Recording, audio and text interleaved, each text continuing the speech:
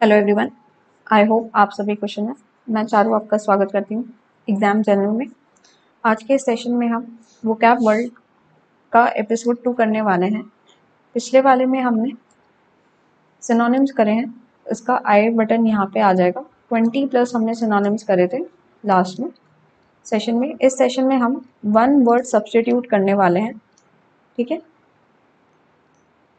One word substitute करेंगे। और twenty plus करेंगे।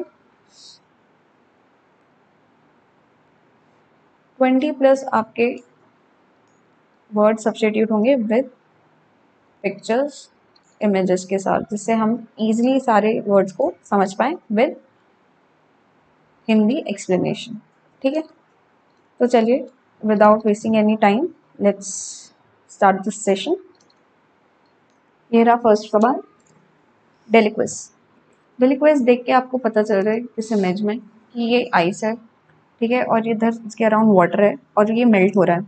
तो उसका मतलब क्या है? कि ये कुछ मेल्ट से रिलेटेड है। तो ये वर्ड क्या है? To become liquid typically during decomposition decomposition यानी सड़ते वक्त जो है, अगर वो चीज़ जो लिक्विड बन रही है, उसे हम डेलिक्विस कहते हैं। आगे। डेमोगॉग डेमोगॉग का मतलब होता है आ, कोई भी पॉलिटिकल लीडर जो मासेस को खुश कर सकते हैं ठीक है? Political leader appealing to popular desire and prejudice of the population जैसे कि एग्जांपल में आप देख लो डोनाल्ड ट्रंप ले सकते हैं। कैसे? डोनाल्ड ट्रंप जो है let's make America great again का स्लोगन दिया था उन्होंने है ना?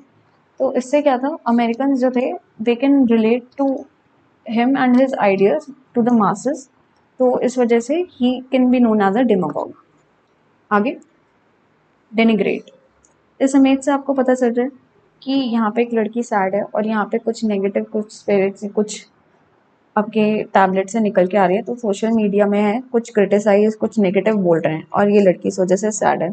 तो डेनिग्रेट का मतलब यही है टू क्रिटिसाइज अनफेयरली ठीक है? गलत तरीके से किसी को बोलना। आगे। डिपोनेंट डिपोनेंट इसमें देखिए, ये एक इमेज है, जिसमें कोर्ट में बैठे हुए ये जज हैं, और यहाँ पे वो पेपर में पढ़ रहे हैं कुछ, ठीक है?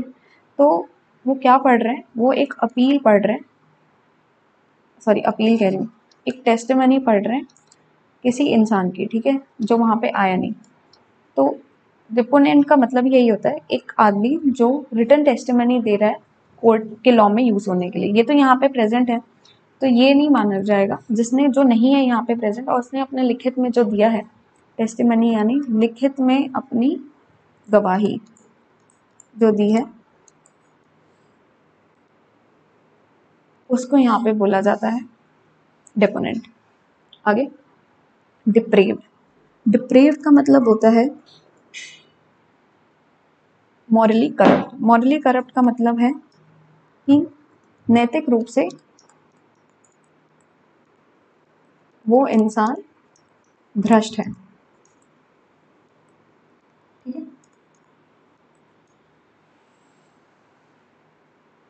कि एग्ज़ाम्पल ले लो आप, जैसे असैसिनेशन हो गया। असैसिनेटर्स जो होते हैं, जो मर्डर करते हैं, वो पैसों के लिए मर्डर करते हैं लोगों का, ठीक है? तो उनका कोई मोरल ग्राउंड नहीं है कि नहीं लोगों को मारना चाहिए, क्योंकि वो पैसों से कर रहे हैं तो इसलिए उनका दे आर डिप्रेव्ड पीपल ठीक है मोरली करप्ट आगे डिप्रिकेट इसमें इमेज में दिख रहा है कि यहाँ पे एक ग्रुप में सब ऐसे सैड्स हैं, ऐसे like they are not looking well और बहुत ही ज़्यादा डिसअप्रूवमेंट में है डिसअग्रीमेंट में, जैसे इस लड़की को देख सकते हैं। तो डिप्लीकेट का मतलब यही है to feel and express strong disapproval किसी चीज़ के लिए बहुत ही ज़्यादा तरीके से अगेंस्ट दिखाना कि डिसअप्रूवल की भाई ये तो मैम नहीं मानता। ठीक है? असहमति दिखाना। इसे हम कहते हैं डिप्लीकेट आगे। डिरेंज्ड ये मेरे से आपको दिख रहा है कि एक लड़की है, इसकी आँख में से गोल गोल है मतलब उसको चक्कर आ रहे हैं या कुछ। शी इज़ नॉट वेल और वो कैसे भी इधर उधर से गलत मूव कर रही है। तो डिरेंज का मतलब ये है unable to think clearly because of mental illness किसी मानसिक बीमारी की वजह से आप सही से नहीं सोच पा रहे, उसे डिरेंज कहते हैं। एक डिरेंज पर्सन हो गया। ठीक है? आगे। डेरेलिक डेरेलिक इसमें देखिए, एक बच्चा बैठा हुआ है और वो कह रहे हैं नीड अ जॉब का साइन लगा हुआ है इसके। तो इसका मतलब ये है कि a person without a home और अ जॉब और प्रॉपर्टी कोई इंसान जिसके पास ना घर है, ना नौकरी है, ना ही कोई ठिकाना, यानी कि प्रॉपर्टी घर तो इसे डेरलिक कहते हैं। एग्ज़ाम्पल ले लीजिए एक्सपेरेंट्स अस ठीक है? ना हमारा कोई घर है, ना कोई नौकरी है, ना कोई प्रॉपर्टी है तो हम लोग जो हैं वो वी आर डेरलिक्ट ठीक है? अब नेक्स्ट पे चलते हैं। डेस्टिट्यूट डेस्टिट्यूट डेरलिक्ट का एक और, थोड़ा और लेवल नेगेटिव है, ठीक है? कैसे कि डेस्टिट्यूट में बिल्कुल खाने पीने का कुछ भी नहीं मिल रहा। जैसे अफ्रीकन पुअर जो होते हैं, जिनको पानी तक भी साफ़ ड्रिंकिंग वाटर नहीं मिल रहा, उनको डेस्टिट्यूट बोला जाता है। जैसे इस इमेज में देखिए कि ये बंदा जो है, वो सड़क के किनारे जो है, सो रहा है। तो destitute means a person without money food and other things necessary for life मतलब बेसिक नेसेसिटीज उस बंदे की नहीं पूरी हो रही।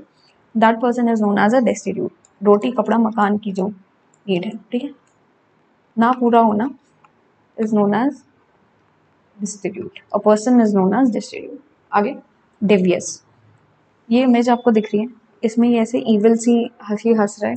तो ये पता चल रहा है, ये भी नेगेटिव कॉन्ोटेशन में है।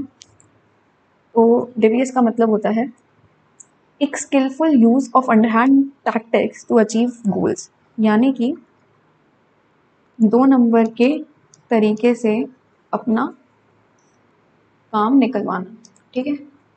इज़ नोन एज डेवियस आगे चलते हैं।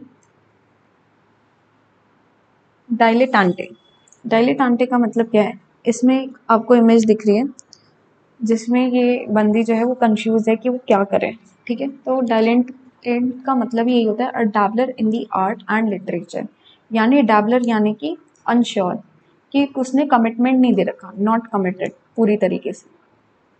कभी वो आर्ट में घुस जाता है, उसे लगता है कि मैं आर्ट में जाऊँगा, कभी फिर वो लिटरेचर में घुस जाता है कि मेरे को बुक्स लिखनी है, कभी वो कहता है कि उसको पेंटिंग करनी है, कभी कह रहे हैं मतलब अगर हम लेमन टर्म से कहें, वो बुक्स लिखनी है। लेकिन वो किसी से भी एक के फॉलो नहीं कर रहा क्लियरली तो that person is known as dilettante ठीक है? आगे।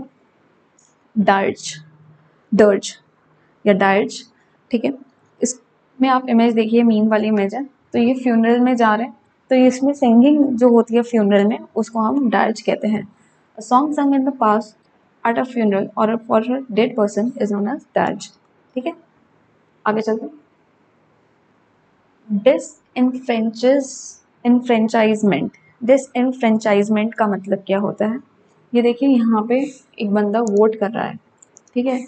और इसके आगे अगर मैं एक क्रॉस लगा दूँ, ठीक है? नॉट अलाउड टू वोट तो ये बन जाती है हमारी डिस इनफ्रेंचाइजमेंट यानी कि the state of being deprived of a right और privilege especially the right to vote किसी का राइट टू वोट अगर आप ले लेते हैं तो उसे डिसइनफ्रेंचाइजमेंट कहते हैं। कि जैसे कि हमें कंट्री में 18 प्लस सभी everyone is allowed to vote लेकिन अगर कुछ 18 सालों को वालों को अलाउ ना किया जाए, या फिर विमेन को मना कर दिया जाए तो that is known as disenfranchisement आगे चलते हैं।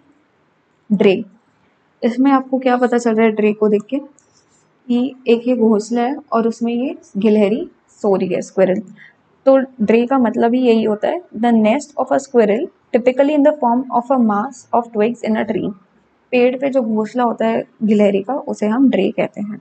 आगे। डॉर्सल इमेज में क्या दिख रहा है? ये डॉर्सल के हिसाब से ये देखिए, यहाँ पे इसकी एक बैग है और उस बैग को जो है हम डॉर्सल कहते हैं, ठीक है?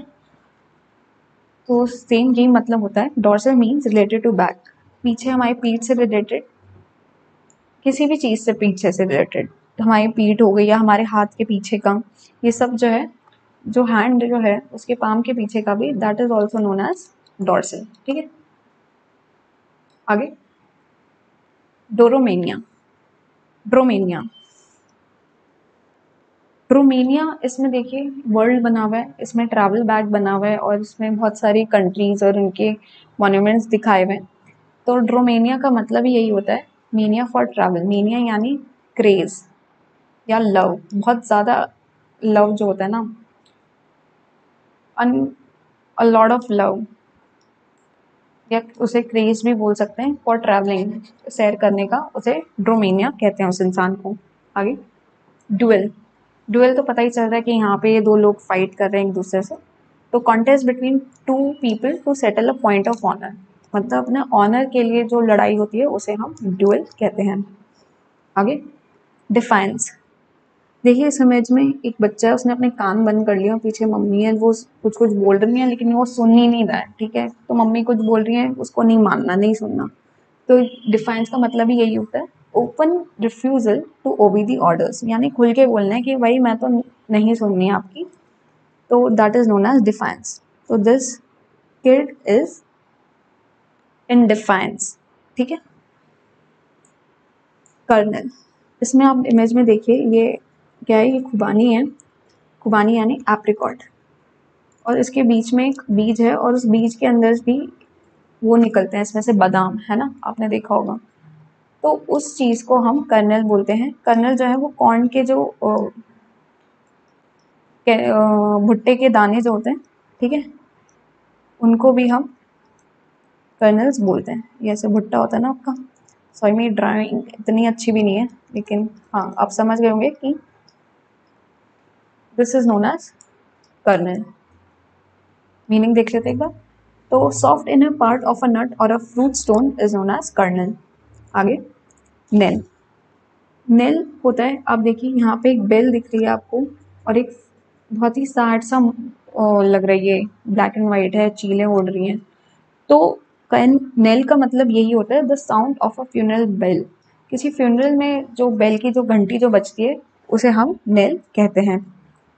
तो यही थे आज के इस सेशन में हमारे। Twenty word, one word substitute ठीक है विद इमेजेस आई होप ये सेशन आपको अच्छा लगा होगा और कुछ नया सीखने को मिला होगा और काफ़ी आपको वर्ड्स इसमें से रिटेन करने में हेल्पफुल लगेगा। अगर ये सेशन आपको अच्छा लगा है तो प्लीज़ इसे लाइक करिए और अपने साथियों के साथ शेयर करिए ज़्यादा से ज़्यादा। और अगर आपको ऐसे ही कंटेंट चाहिए एग्ज़ाम से रिलेटेड तो प्लीज़ एग्ज़ाम जर्नल को ज़रूर सब्सक्राइब करिए। मैं ऑलमोस्ट वीक में तीन से चार वीडियोस हर चीज़ की, जैसे मैथ्स इंग्लिश जीके और मॉक टेस्ट डालती हूँ, ठीक है? ये अभी मैंने रिसेंटली स्टार्ट की है ये सीरीज़ तो प्लीज़ प्लीज़ और जो वीडियोज़ हैं, उन्हें भी ज़रूर देखें। Thank you everyone take care bye